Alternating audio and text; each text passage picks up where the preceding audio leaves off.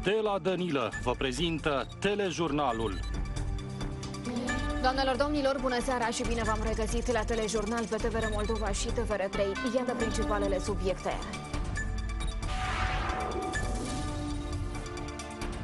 O mamă acuză educatoarele de abuzuri fizice și verbale asupra copiilor de la grădinița 185. Autoritățile nu au luat deocamdată niciun fel de măsuri.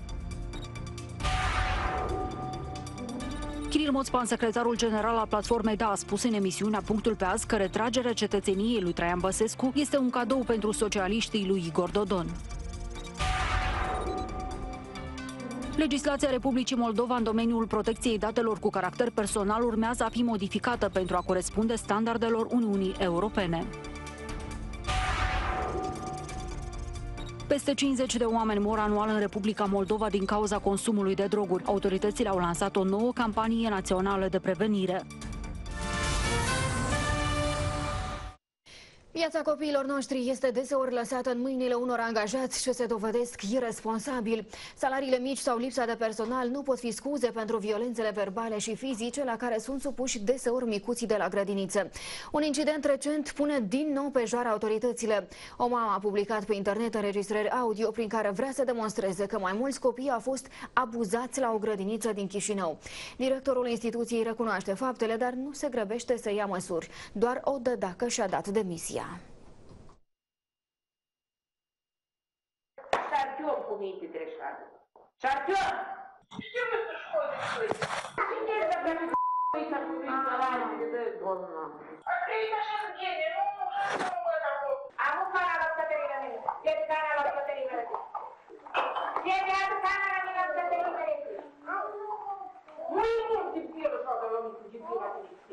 Înregistrările au fost făcute la grădinița 185 din sectorul Buiucani. Două educatoare și o dădacă aveau grijă de copiii de 3 ani. Directorul a recunoscut o voce și spune că angajat a lucrat de 10 ani ca ajutor de educatoare. Recunosc că e foarte urât, și le pare rău că așa s-a întâmplat. Sunt suficiente dovezile de registrare, dar dacă eliberăm toți trei, toate trei persoane, cu cine lăsăm copiii, 34 de copii pe listă? Educatoarea suspectată de abuzuri susține că nu-și amintește. Împreună eram cu ajutorul nostru de educator, dar eu n-am auzit că ies în juri. Sau să a fost în timpul amiezii, când copiii trebuie mâncau, trebuie să-i culcăm. Femeia care a realizat înregistrările o acuză pe educatoarea Svetlana Simceco că ar fi fost de față când au avut loc incidentele. În prezența copiilor, angajatele îi criticau pe părinți.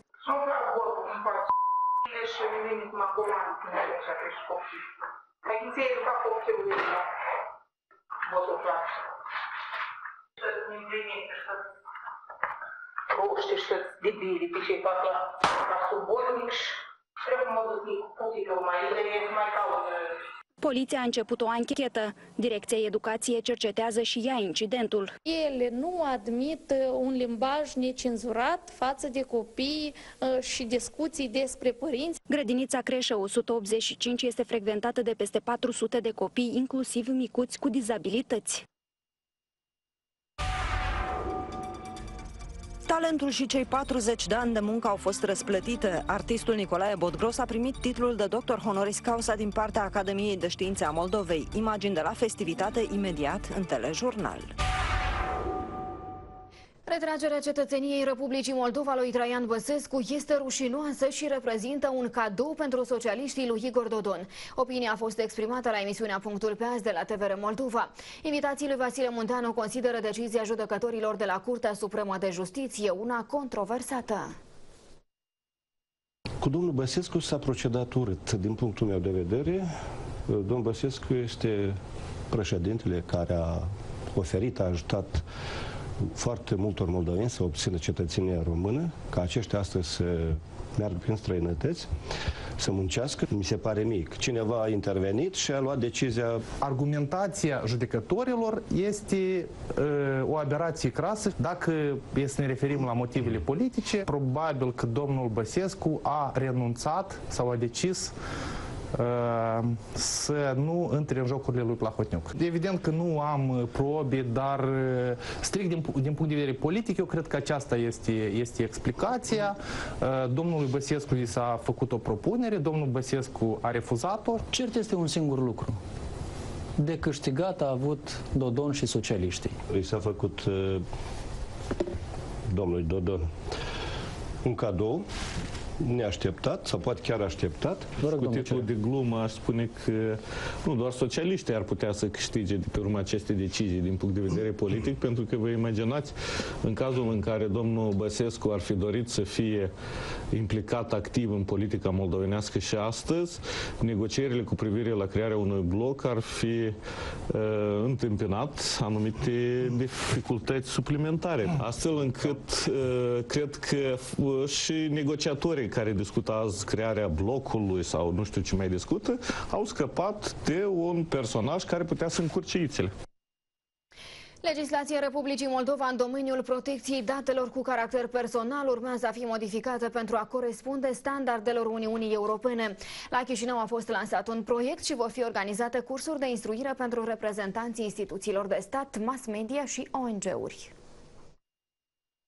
Îmbunătățim legea 133 cu privire la protecția datelor și am inclus în ea multe dintre prevederile acestui regulament european. Uh, proiectul se află acum, uh, a trecut prin uh, procesul de avizare, se află la guvern, iar conform procedurii urmează să intre în, în Parlamentul Republicii Moldova spre, spre aprobare. Pentru a le oferi mai multe detalii, organizatorii au invitat experți din Germania și Ucraina. Будем рассматривать такие вопросы, как свобода доступа к информации, свобода информации и защита персональных данных. Как найти баланс между всем этим, когда журналисты могут публиковать информацию, когда не могут, когда государственные институции должны им выдавать информацию, когда не должны, когда жurnaliști могут получать персональные данные и когда они не могут их получать. Subiectul a trezit interesul mai multor reprezentanți ai organizațiilor non-guvernamentale. Astăzi, toți zi de zi, cel puțin pe rețelele sociale, toți consumă informații cu caracter personal și difuzează informații cu caracter personal. Și atunci când uh, suntem în contact cu această informație,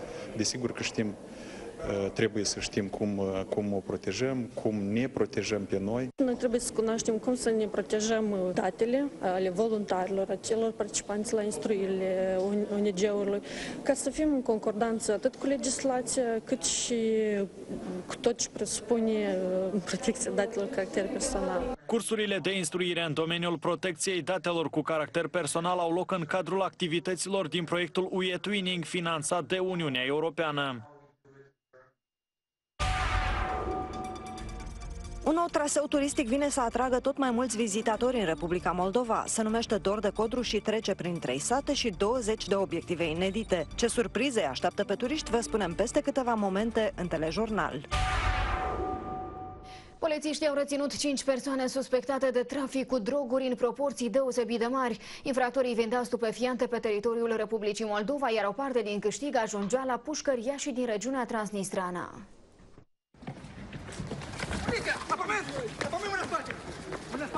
Spate! Mâna spate!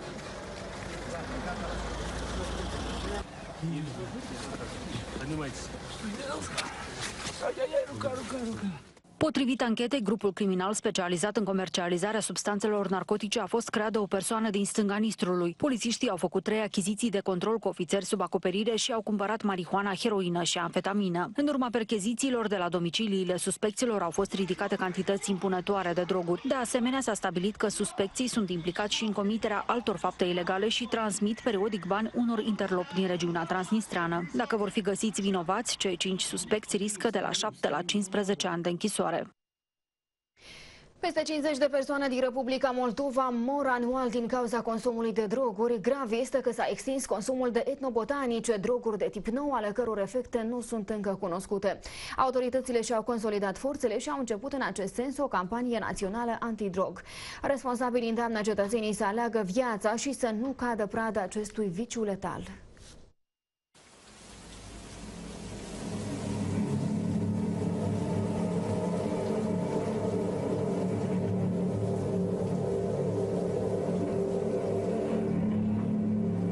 O să renunțați așa ușor? Nu reacționez la nimic. Vă rog, mai dați-mi o șansă. În Republica Moldova, cel mai consumat tip de drog este cannabisul, însă în ultimii trei ani s-a extins consumul de etnobotanice. Dacă în anul 2017 au fost confiscate 2 kg de astfel de droguri, anul acesta oamenii legii au ridicat 5 kg. Ne dorim să nu ajungeți la medici, mai rău după gratii sau, Doamne ferește, să pierdeți viața spuneți nu consumului de droguri și alegeți viața. În ultimii trei ani, consumul de droguri, drogurilor de tip uh, nou, etnobotanice, cum le numim noi, a crescut de la un procent în anul 16 la 13 procente în anul 2018. În următoarele șase luni, autoritățile vor desfășura lecții în școli și vor informa elevii despre riscuri. În fiecare raion din Republica Moldova vor fi organizate dezbateri publice cu tematica antidrog. Va fi promovată intens și linia ferbinte. Persoana va fi uh, liberă să aleagă între tratament în instituții specializate și încarcerarea atunci când aceste reglementări vor uh, funcționa, numărul consumatorilor uh, s-ar micșora. Cifrele oficiale arată că 80.000 de persoane au consumat cel puțin o dată substanțe narcotice. Sistemul execuțional contemporan uh, își propune mm, să identifice pârghii individuale pentru executarea pedesei pentru fiecare persoană care s-a aflat, s-a pomenit în izolare și în mod special pentru cei care depind de consumul de uh, droguri. Cei mai activi consumatori de droguri au vârsta cuprinsă între 15 și 34 de ani. Răspândirea rapidă a etnobotanicelor are loc din cauza accesibilității și metodelor noi de vânzare. La cât de repede se dezvoltă piața acestor droguri, țările membre ONU și a Uniunii Europene nu reușesc să reglementeze, nu reușesc să ajusteze cadrul legal existent, nu reușesc elementar să construiască laboratoare prin care să testeze aceste substanțe și nu reușesc să monitorizeze toată vânzarea care are loc online. Будет план действий, который направлен на борьбу с незаконным оборотом наркотиков именно на борьбу с незаконным оборотом наркотиков, а не борьбу с людьми, которые употребляют наркотики. Un singur consum poate duce la dependență, poate duce la efecte uneori irreversibile în organism și în comportamentul acestei persoane. Și noi trebuie să ne schimbăm abordarea la 360 de grade. Noi nu putem să continuăm cu acea abordare care s-a dovedit a fi neproductivă de a judeca, de a pedepsi, de a nu vorbi despre acest subiect. Spotul antidrog va fi difuzat de televiziuni în orele de vârf și în cinematografe înainte de începerea filmelor. Prețul poliției de asigurare medicală va rămâne neschimbat pentru al șaselea an consecutiv și în 2019 aceasta va putea fi cumpărată cu 4.056 de lei. Cei care o vor procura până la 1 aprilie vor beneficia de reduceri. Proprietarii de terenuri agricole vor beneficia de o reducere de 75%, iar fondatorii de întreprinderi individuale vor plăti mai puțin cu 60%. Ceilalți cetățeni pot cumpăra polița de asigurare la jumătate de preț până în data de 1 aprilie. În 2019 nu se va schimba nici valoarea primilor de asigurare obligatorie de asistență medicală. Angajatorul și angajatul vor achita în cote egale câte 4,5% din salariu. Proiectul bugetului asigurărilor medicale prevede prevede venituri de 7,3 miliarde de lei, cu 10% mai mari față de anul trecut, cheltuieli de 7,5 miliarde de lei și un deficit de 200 de milioane. Cei mai mulți bani, 3,7 miliarde de lei, vor fi cheltuiți pentru tratarea bolnavilor în spitale. Alte 2 miliarde de lei vor fi folosite pentru asistența medicală primară. Anul viitor, pentru medicamentele compensate, vor fi cheltuite aproape 600 de milioane de lei. Uitați de vacanțe la malul mării și alegeți o destinație de-a dreptul exotică. Vizitați un muzeu de tip tabără amenajat în aer liber, aventurați-vă în modelarea ulcioarelor din ceramică neagră sau țeseți covoare. Vă propunem să încercați noul traseu turistic Dor de Codru. Cuprinde 3 sate și 20 de obiective care o să vă facă să descoperiți în Republica Moldova locuri parcă rupte din rai. Traseul turistic începe odată cu intrarea în satul Ciorești. Chiar dacă nu ați fost niciodată pe aici și nu cunoașteți drumul, nu aveți cum să ratați locația, întrucât veți fi întâlniți de această poartă imensă. A fost meșterită cu mare drag de oamenii din sat și s-a ales cu două nume, Poarta Dorului și Poarta Speranței. Această poartă a fost construită din uh, stejar, are dimensiuni impunătoare, are 9 metri lățime și 6 metri înălțime. Aceasta este cea mai mare poartă din uh, Republica Moldova. Și de aici începe toată distracția. Primul popas îl veți face la Casa Mierii din satul Micleușeni.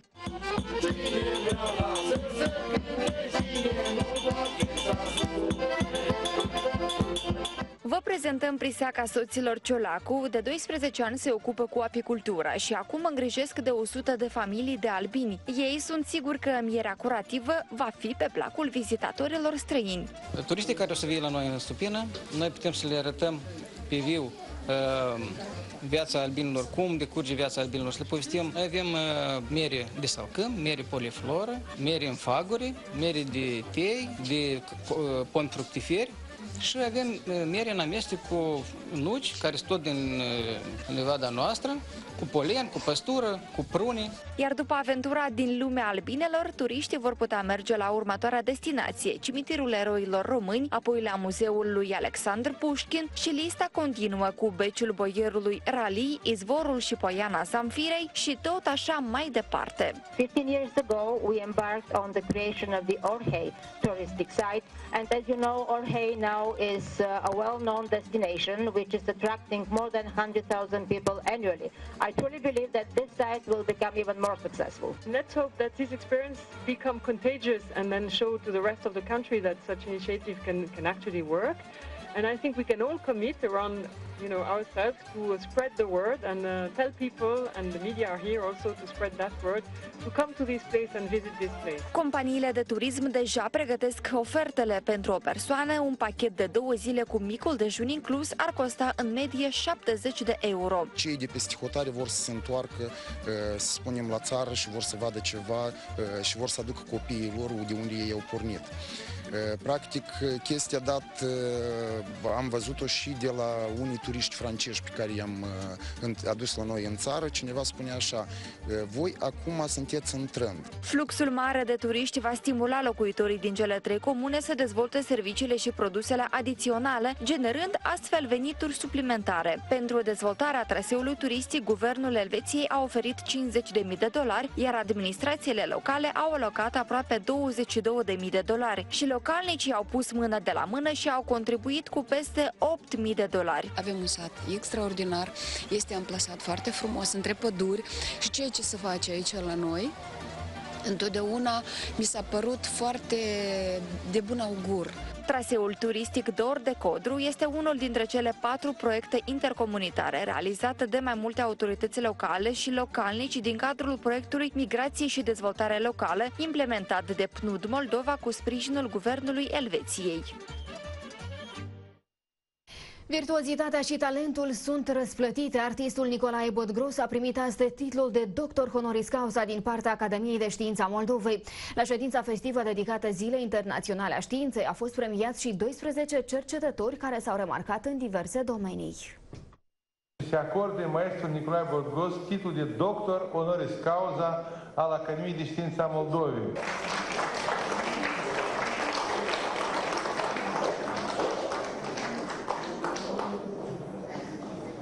Sunt onorat. Cred că dacă trăia tatăl meu, mama, să mă fi văzut în, în acest moment, cea mai mare bucurie era pentru ei. Deși are în palmares numeroase premii, maestrul Nicolae Botgros recunoaște că titlul obținut astăzi este unul deosebit. Emoțiile sunt mari, să ajungi în Academia de Științe, unde sunt atâția profesori, atâția uh, doctori uh, în știință și știi și tu de chestia asta că faci ceva pe lume, dar aprecierea este foarte mare. Cei care l-au cunoscut pe lăutar încă de la începutul carierei muzicale spun că are un talent aparte de a citi printre rânduri. Întotdeauna îmi făcea plăcere când auzeam niște fraze care îi sunt caracteristice numai lui Nicolae Budgros, fiindcă el uh, știe să cânte așa la vioară când nu are margini în virtuozitate. Are o tehnică care uh, se zice că Barbu Lăutaru a fost un mare, mare muzician. Dar nu cred că a fost mai mare decât Nicolae Bodgros. Talentat e puțin spus despre Bodgros. El e ceva cu mult mai mult. El are simț, el are gând, el cunoaște subtilitățile muzicii românești a tuturor zonelor. El nu, nu le încurcă. Este o personalitate cu care Moldova se mândrește se va mândri încă mulți, mulți ani înainte. Decernarea titlului de doctor honoris causa a avut loc în cadrul ședinței festive dedicate Zilei Internaționale a Științei pentru Pace și Dezvoltare. Academia de Știință a Moldovei, în calitatea sa de for științific, pe parcursul a mai bine 60 de ani și a adus aportul la dezvoltarea științei naționale, purtând grija susținerii științei fundamentale care s-a soldat cu descoperiri recunoscute la nivel internațional. Tradițional, în această zi sunt premiate cele mai remarcabile lucrări științifice realizate în anul precedent în diverse domenii, precum istorie, inginerie, matematică sau biologie. Rodica Sturza a primit premiul pentru inovații în chimia alimentelor. Pentru mine înseamnă o recunoaștere a faptului că chimia alimentelor este într-adevăr chimie, este cea mai complexă chimie. Nina Corcinski a luat premiul pentru literatură Grigore Vieru. Este un premiu care mă onorează și mă emoționează într-un mod deosebit, uh, pentru că nu e vorba doar de aprecierea unor rezultate științifice, dar e de vorba de ceva mai mult, uh, de învrednicirea cu un, un premiu care poartă numele unui poet care mi este foarte drag. Evenimentul s-a încheiat cu un recital de excepție susținut de Orchestra Națională de Muzică Populară Lăutarii, dirijată de această dată de dr. honoris causa Nicolae Bodgros.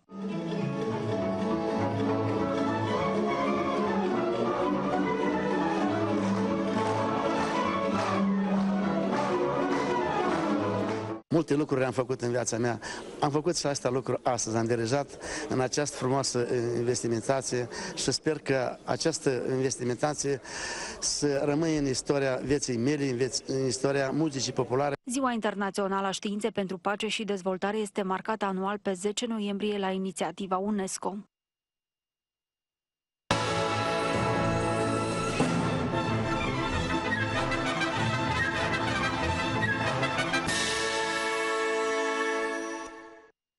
Cunoscut și datorită prezenței în romanul Dracula, munții Bârgăului ne surprind cu peisaje de vis și păduri dese. Turiștii pot lua la pas și un drum care ar data de pe vremea romanilor.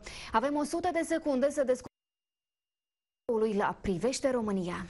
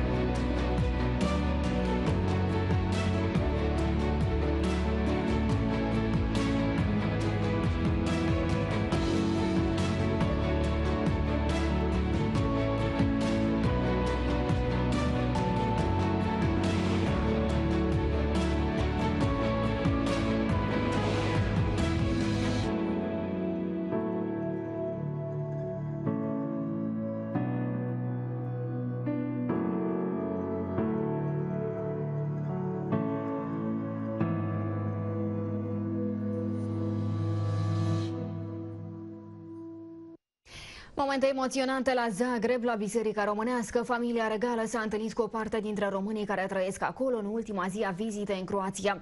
Din comunitate fac parte și moldoveni din Chișinău.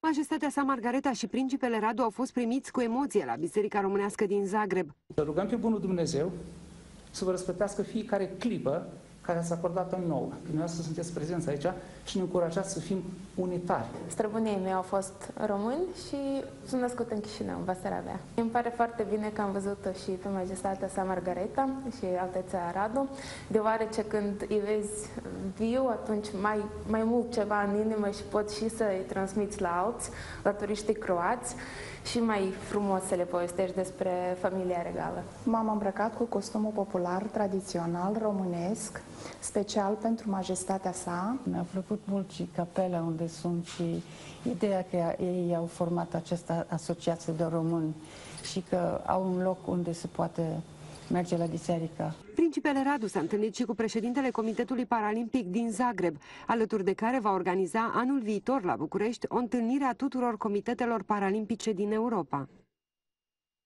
Hotelul de gheață de la lacul Bâlea va fi dedicat în acest an centenarului. Restaurantul va purta numele regelui Ferdinand. Camerele hotelului vor fi denumite după principalele atracții turistice din munții Făgăraș, precum lacul Avrig, vârful Negoiu sau Valea Doamnei.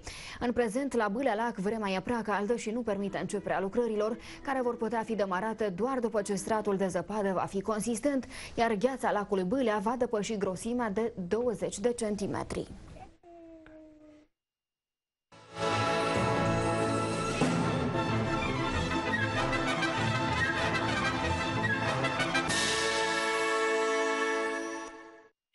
Temperaturi extrem de scăzute în România, județele Covasna și Harghita. Gerul năpraznic din timpul nopții a făcut deja două victime la Sfântul Gheorghe. Un bărbat fără adăpost a murit și un altul a ajuns la spital cu degerături după ce temperaturile au scăzut și până la minus 10 grade. Polițiștii au fost anunțați la 112 de o persoană care a descoperit cele două victime în parcul Elizabeta din oraș. Vremea s-a răcit brusc după ce la începutul săptămânii localnicii se bucurau de o vară târzie cu temperaturi de peste 25 de grade.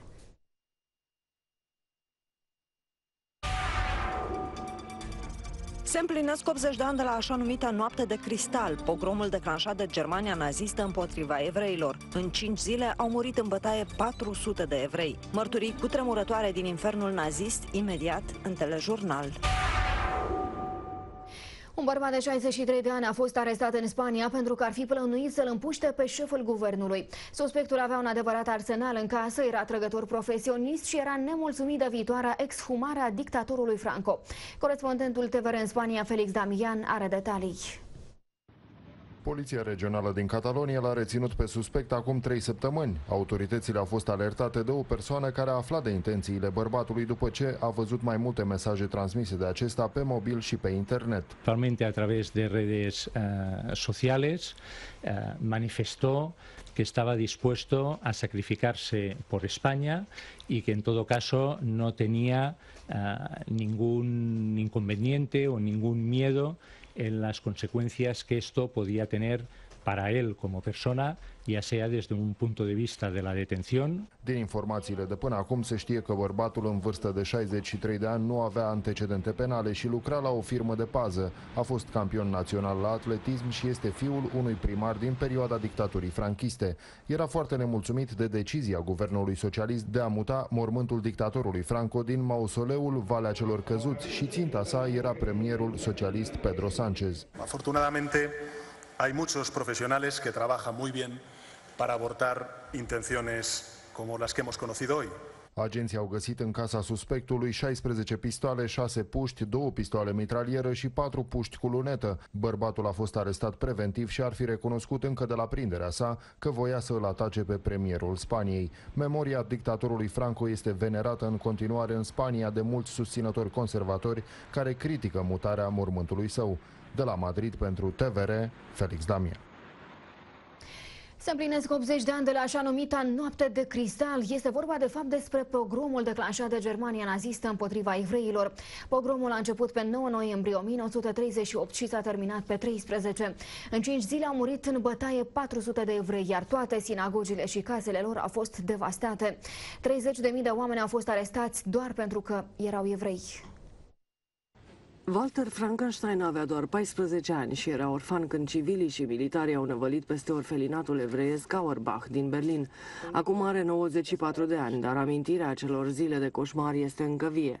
Am äh, Vorabend, so um sechs, halb sieben, da kam äh, eine Gruppe Männer und einige in NASA-Uniform und äh, andere zivil und sagten, jetzt müsst ihr raus, wir wollen das Haus anzünden. Frankenstein își amintește cum mai târziu, împreună cu patru prieteni, a reușit să se urce pe acoperișul orfelinatului și a văzut orașul în flăcări. Da sahen wir schon, inzwischen war es ja dunkel geworden, und da sahen wir schon den Feuerschein über der Stadt. La comanda statului nazist, toate casele și magazinele evreilor au fost distruse. 30.000 de oameni au fost arestați. Cei mai mulți au sfârșit în lagărele de concentrare de la Dachau și Buchenwald. a fost începutul Holocaustului. Din orfelinatul în care a crescut Walter nu a mai rămas decât acest zid. Numele și vârsta celor 140 de copii uciși aici sunt scrise pe cărămizi. Jurnalistul saudit Jamal Khashoggi nu este singurul care a fost asasinat pentru dezvăluirile sale. Presa britanică susține că la câteva zile după eliminarea ziaristului, un coleg de breaslă ar fi fost ucis la fel de brutal de regimul saudit. Abdulaziz al-Jazer era deja arestat pentru că semnala abuzuri și încălcările drepturilor omului printr-un cont de Twitter. Cele mai multe cazuri se refereau la autorități și familia regală din Arabia Saudită. Circumstanțele în care a murit al-Jazer sunt încă necunoscute.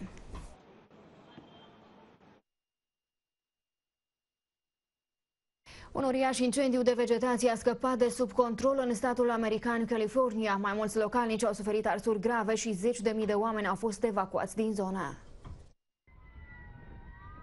Focarul este la 140 de kilometri nord de Sacramento, capitala statului California. Au ars inițial 2000 de hectare de vegetație, dar în numai 6 ore suprafața s-a mărit la 7000 de hectare devastate. Flăcările înaintează rapid, alimentate de vegetația foarte uscată și purtată de vântul puternic de peste 80 de kilometri pe oră. Extremely hazardous, lots of smoke, dark, devastation, active burning all, all throughout the town. To me, I, I've lived up there for 18 years, and it looks like the fire came from the uh, east and just came straight through town all the way. Mai multe clădiri au fost distruse, câțiva localnici sunt în spital cu arsuri grave, cinci localități au primit ordin de evacuare, oameni prinși în zona acoperită de fum dens așteaptă să fie recuperați de echipele de urgență. We try to get them into an area that is safe, away from the fire and smoke, until that fire front pushes through. Uh, we did have fire personnel with them, and so once they deemed it safe, we were able to get them out of there. Oroare și haos, așa descrie un martor ce se întâmplă în regiunea sinistrată, unde străzile sunt blocate, iar mașinile abandonate în mijlocul drumului. Incendiile grave sunt tot mai frecvente în California. Cel mai puternic, care a produs cele mai mari pagube din istoria statului american, a izbucnit în iulie anul acesta și a durat aproape două luni.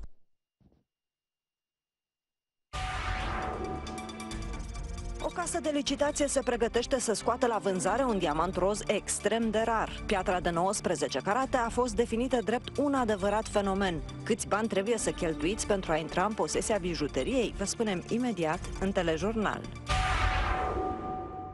Comisia Europeană cere României și Bulgariei să aplice integral legislația europeană privind înghețarea și confiscarea extinsă a bunurilor în cazurile penale.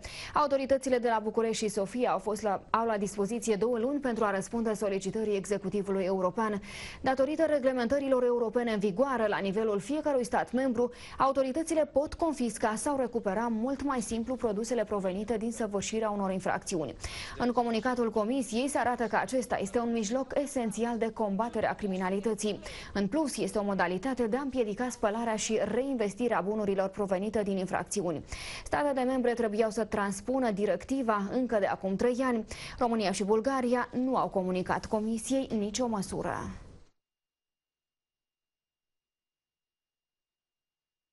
Germanul Manfred Weber a fost ales cap de lista al dreptei europene la alegerile europarlamentare din primăvara anului viitor. Decizia a fost luată cu aproape 80% din voturile membrilor Partidului Popular European reuniți la Congresul de la Helsinki. Președintele grupului PPE din Parlamentul European, Manfred Weber, a obținut la Congres 492 de voturi față de 127, cât a acumulat oponentul său finlandez Alexander Stubb. Weber s-a arătat pregătit să consolideze partidul pe fondul ascensiunii formațiunilor extremiste cu mesaje antimigrație. The campaign starts here, right here in Helsinki. Uh, we have a good record. We have a lot to tell to the people that we created a good and a strong and stable Europe which is strong at the moment, under the leadership of Jean-Claude Juncker, Donald Tusk and Antonio Tajani. We want to have a democratic Europe and we want to have an ambitious Europe. That is our way to do European politics. Dacă PPE va redeveni după europarlamentare cel mai numeros grup din legislativul european, Manfred Weber ar putea deveni viitorul președinte al Comisiei Europene. La acest post pretinde și oponentul său social-democrat Frans Timmermans, fost ministru de externe al Olandei. Postul de președinte al Comisiei Europene e ocupat din 2004 doar de membrii ai PPE. În prezent, popularii europeni și socialdemocrații au împreună o majoritate de 55% în Parlamentul European. Sondajele arată însă că după alegerile din 23 26 mai anul viitor, PPE nu va mai domina legislativul european. Ministrul austriac de externe și-a anulat vizita de lucru în Rusia pe fondul scandalului de spionaj izbucnit între cele două țări. Ministerele de externe din Viena și Moscova au convocat ambasadorii rus, respectiv austriac, pentru a cere explicații. Presa din Austria afirmă că serviciul de contraspionaj militar a reținut un fost ofițer care colabora cu rușii.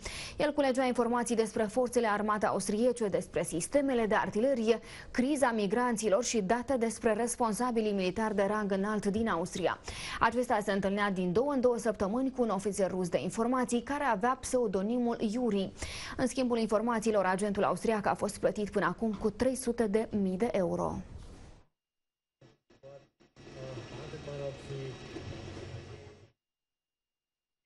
Un diamant roz extrem de rar va fi licitat la Geneva săptămâna viitoare, dar până atunci a fost expus pentru ca toată lumea să-i admire splendoarea. Casa de licitații Christie se așteaptă să fie vândut cu 30 până la 50 de milioane de dolari. Piatra de 19 carate a fost definită drept un adevărat fenomen. În istoria sa de peste 250 de ani, Casa Christie s-a intermediat vânzarea doar 4 diamante roz.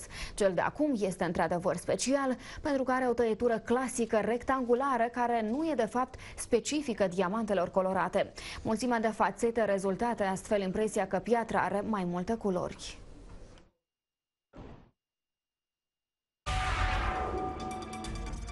Dan Bălan, unul dintre cei mai îndrăgiți interpreți din Republica Moldova, a revenit aseară cu un concert de zile mari la Chișinău. Ce dedicație emoționantă i-a făcut mamei sale, vedeți imediat în telejurnal. Sibiul este primul oraș din România care va avea o monedă locală proprie. Sibcoinul va putea fi folosit din 2019 când Sibiul va fi regiune gastronomică europeană. Turiștii și vizitatorii vor putea să-și schimbe banii în această monedă, apoi să cumpere servicii cu diferite discounturi într-o rețea de restaurante. Sipcoinul va fi lansat oficial în 21 noiembrie la București de consorțiul Sibiu Regiune Gastronomică Europeană 2019. De exemplu, pentru prânz, Putem alege un antricot de vită, uh, un Black Angus de regiune, care are un gust uh, senzațional, cu o porție de uh, cartofior, o sălățică și ajungem la un preț de 120 de lei. Dar dacă venim cu Sipcoin, putem ajunge la prețul de 100 de lei. De anul viitor, Sipcoinul va fi disponibil la început în format electronic prin intermediul unei aplicații. Cu ajutorul unui card și al unui cont pe această aplicație, banii vor putea fi convertiți în aceste monede locale cu o paritate de 1 la 1. La convertire primiți un bonus, iar când îi consumați în diferite locuri, la fel reduceri sau bonusuri în aceeași monedă. Dacă vei dori să-ți schimbi 100 de lei în 100 de Sipcoin, paritatea este 1 la 1, vei primi un bonus, 10 SIPCoin cadou. Nu este o monedă speculativă, deci trebuie să spunem foarte clar că nu există niciun fel de legătură sau de atingere cu domeniul criptomonezilor. SIPCoinul va fi valabil și sub forma unui suvenir ca o simplă monedă, iar ulterior și sub forma banilor fizici, monede și bancnote. Însă, atenție, se pot folosi doar în regiunea Sibiului. Deci aceasta este moneda, moneda generică, primul, primul design în care va exista. Vom emite probabil anul viitor o bancnotă, va fi un voucher, dar ne așteptăm să o poți avea în portofel și să poți cumpăra cafea sau să poți cumpăra mere din piață. În lume există peste 300 de astfel de monede sub diferite forme, tokenuri electronice, bonuri valorice sau monede și bancnote. Marea Britanie are câteva în circulație în diferite regiuni ale regatului. Astfel de monede locale nu apar în cotațiile băncilor, dar se folosesc ca mijloace de plată între comercianții locali și clienți și ajută la susținerea economiei locale. Având acest acest token, acest echivalent local, noi permitem schimburile locale într-un mod mult mai rapid.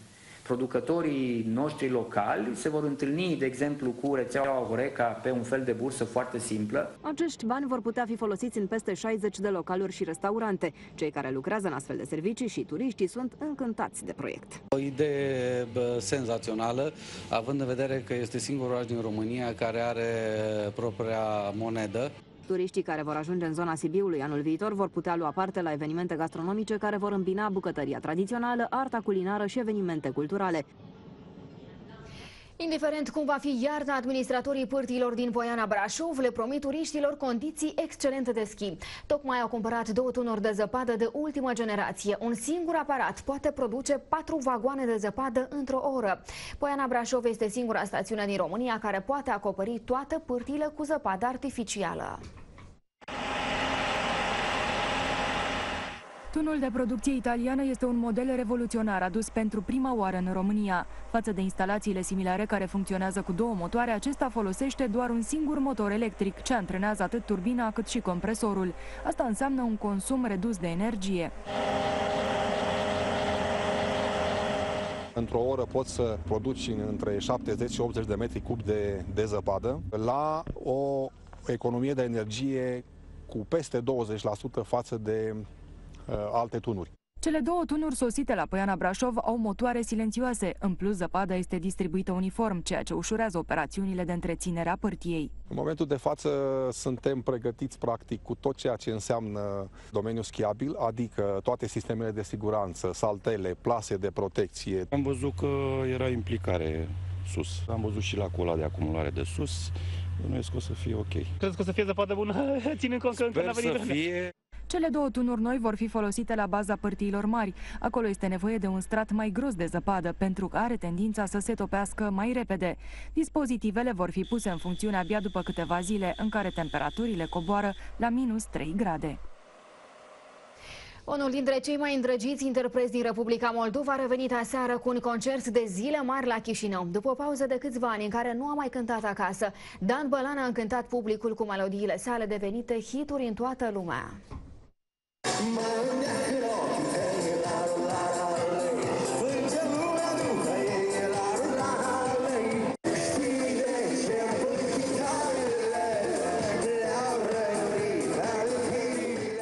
Dan Bălan a interpretat melodiile care l-au consacrat în lumea muzicală în ultimii ani.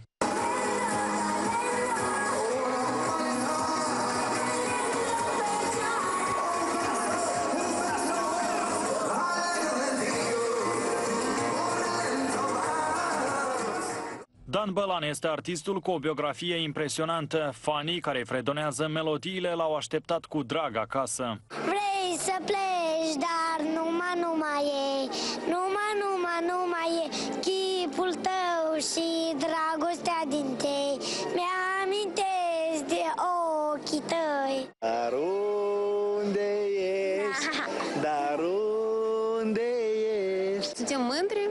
așa un cântăreț, așa un interpret și că el reprezintă țara noastră peste hotarele țării. Am crescut cu cântecele lui și în sfârșit am, am, avem această ocazie să, să fim alături. Un moment emoționant a fost creat de piesa pe care a interpretat-o Dan pentru mama sa, Ludmila Bălan. Ea a urcat pe scenă pentru a-și îmbrățișa fiul. Când cânt această piesă, chiar simt această conexiune cu mama.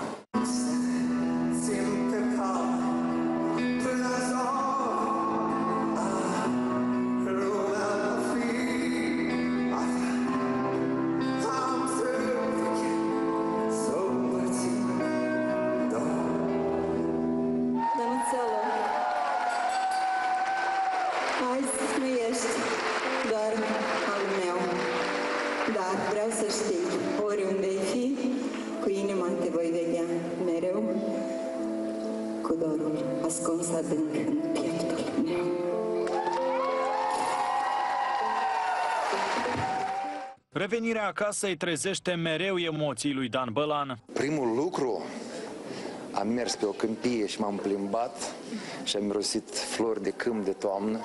Asta pe mine mă face să mă simt foarte bine, nostalgie din copilărie și uh, mă face să mă simt extraordinar. Deși a locuit atât în estul Europei cât și în vest, artistul spune că nicio cultură nu influențează creația. Compune ce gândește și cântă ce simte. E ceva care eu pur și scriu așa cum simt și independență cum sunt eu acum, ce mă inspiră acum, asta și se reflectă în creația mea. În curând va lansa și un nou videoclip la piesa Ictis on My Brain, pe care a și cântat-o publicului.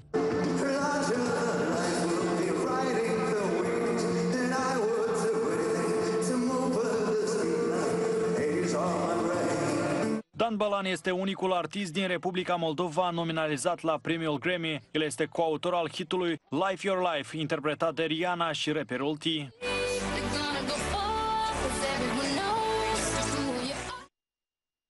Să vedem acum principalele cotații valutare.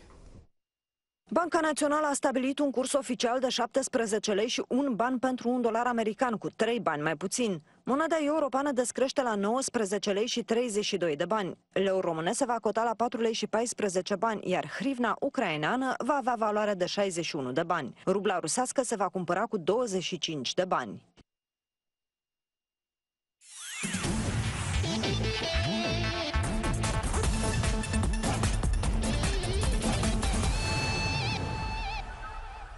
Sportivii români cu dizabilități participanți la Special Olympics au vizitat baza americană de la Mihail Cogălnicianu. Tinerii au jucat basket și tenis de masă cu militarii americani staționați în Constanța. Special Olympics este o mișcare născută în Statele Unite în anul 1968 cu scopul de a integra persoanele cu dizabilități.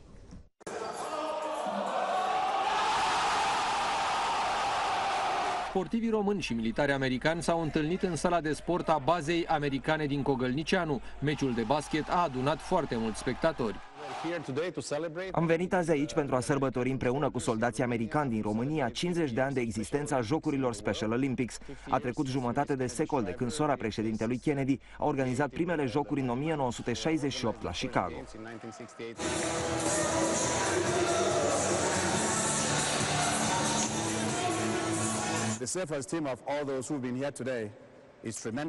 Respectul de sine al celor care au fost azi aici e nemaipomenit. S-a văzut cât de bucuroși au fost toți participanții. Unii aproape că nu mai voiau să plece acasă. A fost minunat. Mișcarea Special Olympics activează în România de 15 ani. În această perioadă a ajutat la integrarea aproape 30.000 de tineri. La Jocurile Special Olympics din 2015 de la Los Angeles, sportivii români au obținut 21 de medalii. Campionatul mondial de lupte sub 23 de ani este la București. Competiția va fi transmisă pe TVR HD. România va participa la campionatul mondial de seniori sub 23 de ani cu 30 de sportivi și sportive la lupte libere și greco-romane. Finalele și semifinalele turneului vor fi transmise pe TVR HD. Cel mai important lucru că suntem și vom fi din nou în casele tuturor românilor. Cel puțin două medalii, acesta este obiectivul stabilit de federație. Sportivii români au șansa ca imnul să le fie cântat chiar la ei acasă. Mondialul este organizat la București, în sala polivalentă. O competiție majoră la nivelul seniorilor n-a mai fost organizată din 1979, aproape 40 de ani. Trebuie să lupte pentru culorile României, pentru luptele românești. Am încredere în ei. Șanse au toți, dar șanse mai mari pentru a ridica drapelul României la acest campionat sunt uh, pentru luptele libere în jur de 4-5 persoane. Acest campionat mondial, uh, de fapt, uh, este premergător Jocurilor Olimpice. Ca să demonstreze că au valoare și pot să meargă până acolo, trebuie să demonstreze aici, acasă la noi, cu cel mai bun retur din lume, Halep are cea mai tare defensivă din tenisul mondial actual. Jumătate dintre game-urile în care s-a aflat la primire, Halep le-a transformat în break-uri cu 49,6% puncte câștigate pe serviciul advers și 48,5% jocuri luate contra acestuia. Simona este regina returului înaintea rusoaicei Kazatkina și germancei Kerber. Comparativ cu sezonul 2017, când a fost de asemenea cea mai tare jucătoare la retur, Halep are 6% în plus. Torsiunea impusă de retur și extensiile uneori necontrolate la serviciu au declanșat hernia de disc. Nu, nu este vorba despre, despre operație, nu. Din fericire, e bine că nu, nu e nevoie să, să meargă să aibă o intervenție chirurgicală, care, în comparație cu perioada în care noi jucam, era ceva problematic în momentul în care ajungeai să te operezi la spate. În ziua de astăzi nu mai e chiar atât de mare problemă, dar oricum nu e, nu e indicat și nu e bine să o faci. Pele vine la TVR, povestea unui copil care a rescris istoria fotbalului se vede în această seară de la ora 21 și 10 la TVR1 în filmul Pele. Edson Arantes Donas Cimento a început să viseze pe străzile mizere din Sao Paulo și a dus Braziliei prima cupă mondială la doar 17 ani în 1958. Aventurile sale sunt urmărite în producția americană din 2016.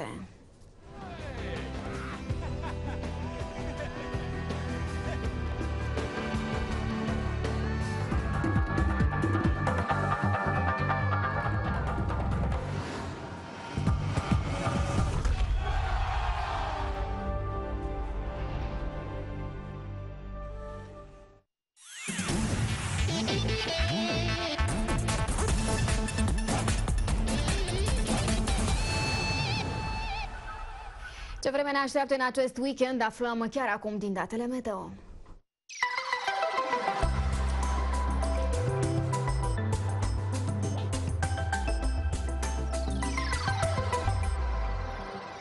Bun găsit! Ne așteaptă un weekend cu vreme închisă, dar cu temperaturi potrivite cu data din calendar. Nopțile rămân reci, cu minime ce vor coborâ până la 1 grad Celsius. Așadar, mâine cerul va fi mai mult noros, dar ne vom bucura de câteva raze de soare la prânz. Maximele vor oscila între 8 și 12 grade Celsius. La Chișinău, în această noapte, așteptăm 2 grade, iar maxima de mâine va fi de 11 grade în condițiile unui cer parțial noros. Și în România, vremea rămâne caldă. Cerul va fi variabil spre senin. Maximele vor oscila între 12 și 18 grade. Acestea au fost informațiile. Să aveți o seară frumoasă!